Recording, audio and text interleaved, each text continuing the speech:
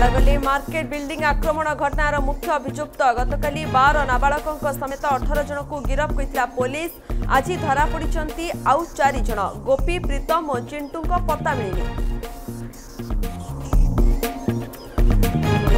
ଶୀତ ଉପକୂଳ ଆଭ୍ୟନ୍ତରୀଣ ଓଡ଼ିଶାରେ ଖସିଲା ପାରଦ। ସୋନପୁର ସବୁଠାରୁ ଥଣ୍ଡା ସହର ଦାରିଙ୍ଗବାଡ଼ି ସିମନବାଡ଼ିରେ ତୁଷାରପାତ। ଆହୁରି ତିନି ଦିନ ଥରାଇବ ଜାଡ଼